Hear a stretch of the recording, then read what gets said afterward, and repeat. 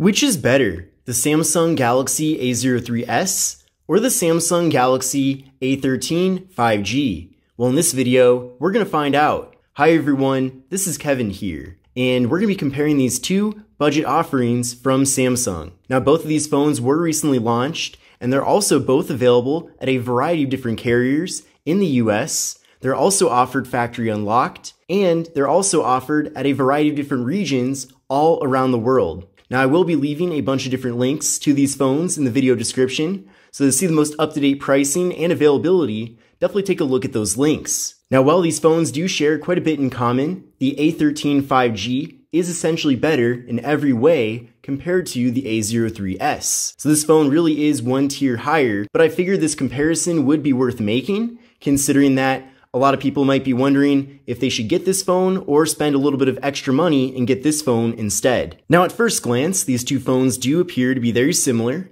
They both do have water drop notches up top. They also both do have thicker bottom bezels compared to the other bezels. And they both feature 6.5 inch displays. So they both have very large displays here, which is definitely great for content consumption. Now, they also both feature 720p displays, but the display technologies used on both phones are a little bit different. So with the A03s, we have a PLS LCD display compared to a PLS TFT display with the A13 5G. And then another big difference between these two displays is that the A03s has a 60Hz display, whereas the A13 5G has a 90Hz display. And essentially with that 90Hz display, navigating around the phone is going to appear a lot smoother because the display is running at a different refresh rate. So essentially it gives the phone a little bit more of a premium feel compared to the A03s. Now as far as PPI goes, both phones do have a PPI of 270, they both feature 20 by 9 aspect ratios, so a more narrow but taller form factor, which is pretty consistent with most devices that have launched in the last few years. And with the A03s, we have an 81.8% screen to body ratio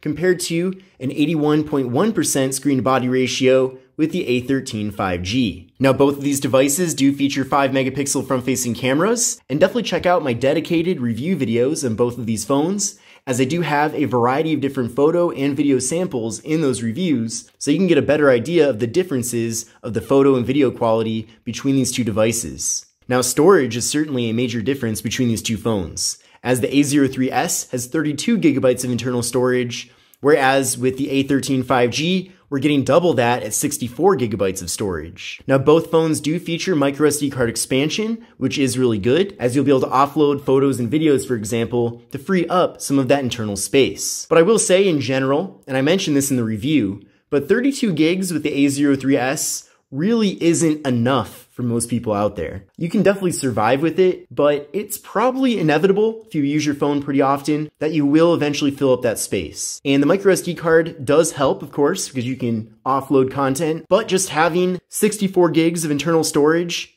and the uh, temperature is 64, but having 64 gigs of storage with the A13 5G really was a great decision by Samsung. Now, neither of these two devices feature wireless charging, but they both do feature fingerprint sensors on the power buttons. So we'll give that a try with both of these phones right now, starting with the A03s.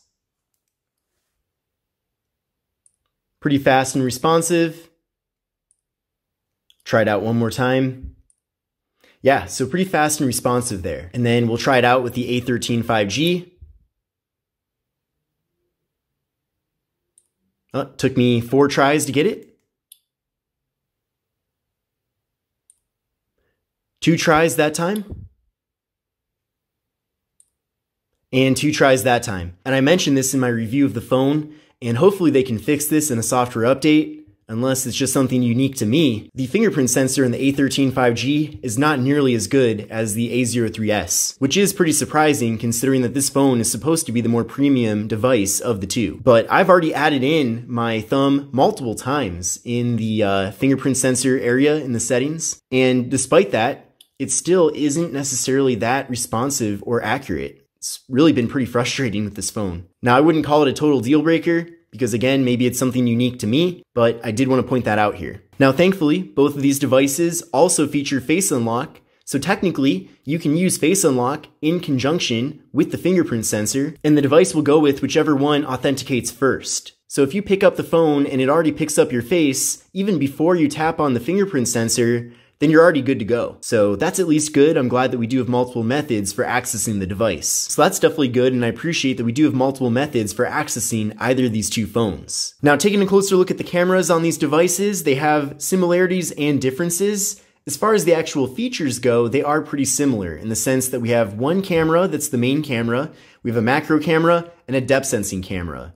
Now on both of these phones, the macro and depth sensing cameras are 2 megapixels, but the biggest difference is the main camera, because with the A03S, the main camera is 13 megapixels compared to a 50 megapixel main camera with the A13 5G. So going from 13 megapixels to 50 is quite a big difference there. In both phones, as you probably could imagine, because they have the depth sensing camera on the back, do support portrait mode for the back camera, but also with the front cameras. Now here's how the cameras look on both devices, and again, to see actual photo and video samples from them, definitely take a look at my dedicated review videos that I've done for these phones. But here's how the camera interfaces look on both devices. Then from here, you can go to the More tab on both phones, and you can access the macro cameras. So with that, you can get very close up and have things be in really good detail. We can then flip around to the front-facing camera on both phones, and there's me right there.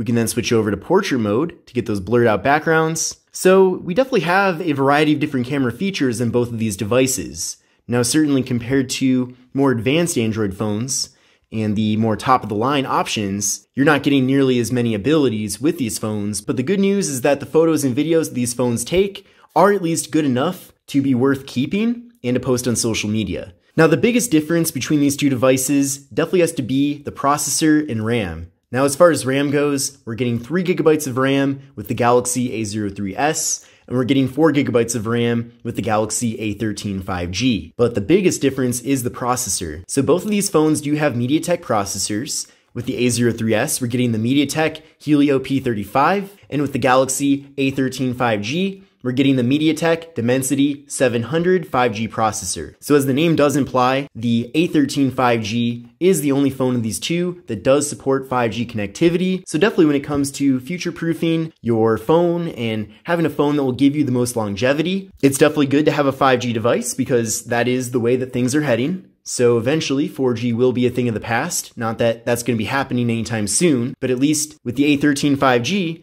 you'll be able to connect to your carrier's 5G network. But also, when it comes to the two processors, the performance that you're getting from them is quite different. So I did run a Geekbench 5 benchmark test with both phones here, and you can see that the scores really do speak for themselves. So with the A03s, I got a single core score of 174 compared to a single core score with the A13 5G of 466. So that's significantly more compared to the A03s. And then multi-core scores are also a bit better here with the A13 5G. So what I recommend doing is running the Geekbench 5 benchmark test on your current phone and then compare your scores to these scores to get a better idea of whether or not either of these phones are going to be a performance upgrade to you. Of course, these numbers really don't mean anything unless you're comparing them to your existing phone, so definitely do that and see where your current device stands in comparison to these two options. But all in all, without a doubt, the A13 5G has a much faster processor than the A03s, and that's before even taking into account the fact that this phone will connect to 5G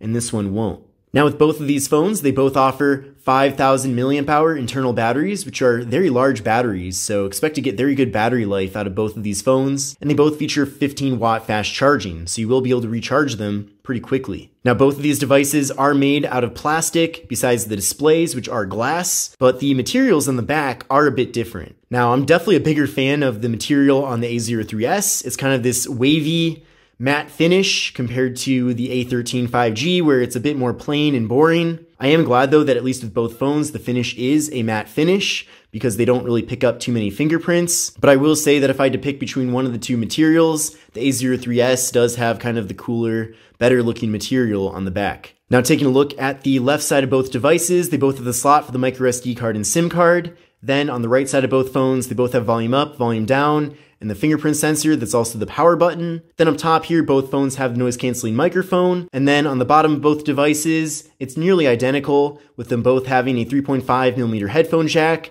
a microphone, USB-C port for charging and data transfer, and we have the speakers on both. And both of these phones do have just one speaker when it comes to listening to audio. So these phones do not let audio out of the earpiece, when it comes to watching videos or listening to music, for example, the earpiece is only used for phone calls, which is a bit different compared to some of the more premium Android phones out there where you do actually get stereo audio. And then taking a look at the back of both phones, they do have different looking camera modules, but honestly, I don't really care a whole lot about the differences in design. They both have the same objective, which is taking photos. So in general, the A13 5G does have the better cameras of the two. So that's what I care about more. So in conclusion, which of these two devices is the better option of the two? Now, of course, when it comes to just the devices, the A13 5G is the better device, of course. It's supposed to be the better phone. It's a tier higher than the A03s, so of course, this device is better than the A03s. But it really comes down to the various promotions that are being offered. So for example, you might walk into a carrier store and the A03s is being offered for free, whereas next to it on the shelf might be the A13 5G, but you might have to pay full price for this phone. So if it comes down to that, then I would go for the A03s. Or your carrier also might be running a much better deal with the A13 5G compared to the A03s. So it really comes down to the